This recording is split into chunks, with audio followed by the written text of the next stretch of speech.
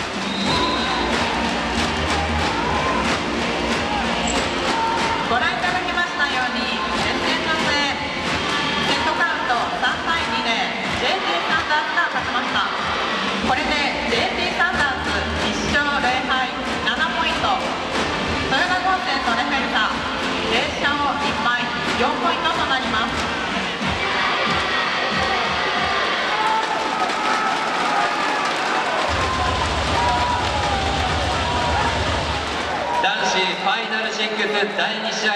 壮絶な試合になりました。どちらも絶対に負けられないという意地を最後まで見せてくれました。皆さん両チームの健闘をたたえる惜しみない大きな拍手お願いします。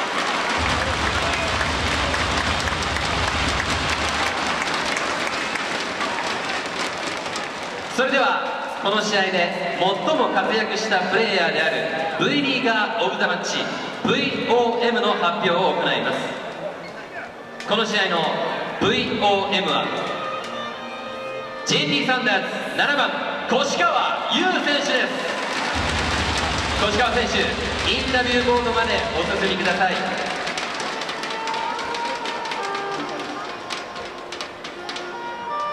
プレゼンターは大阪府バレーボール協会執行副会長帯川忠和です。VOM の越川選手には記念の盾と。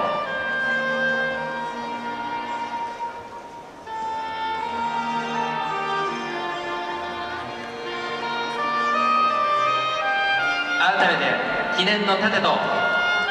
ユニバーサル・スタジオ・ジャパンペアチケットが贈られます。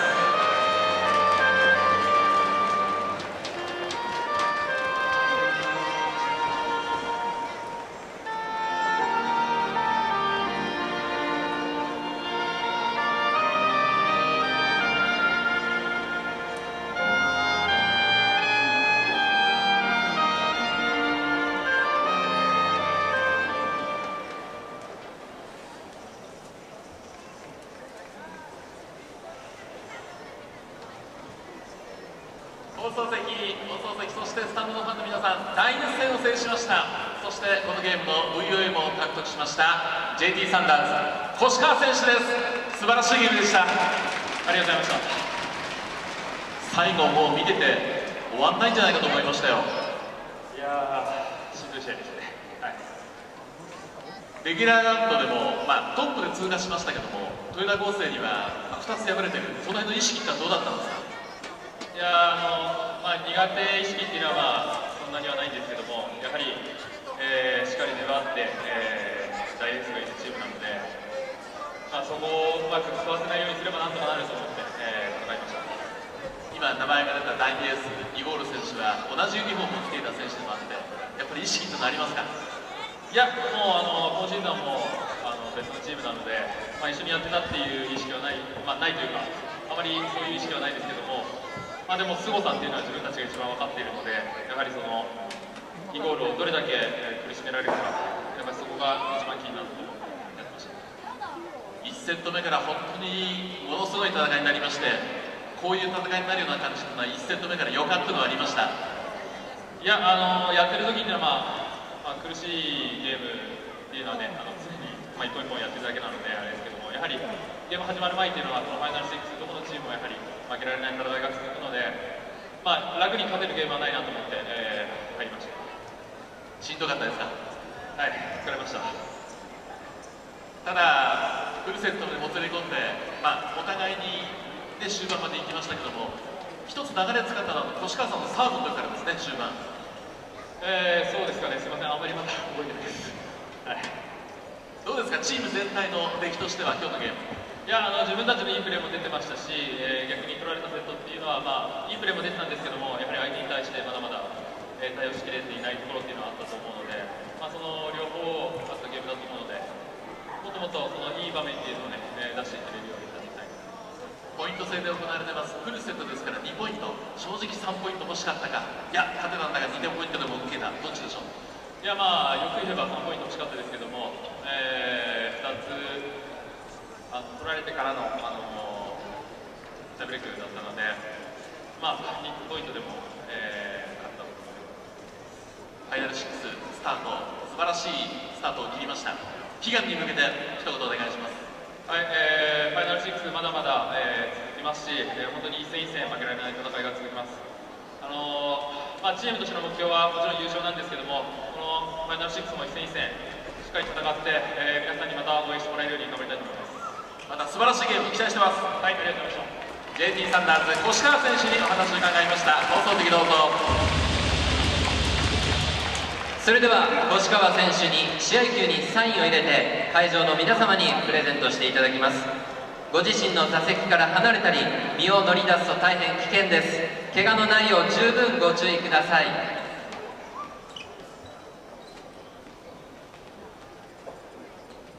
では越川選手お願いします。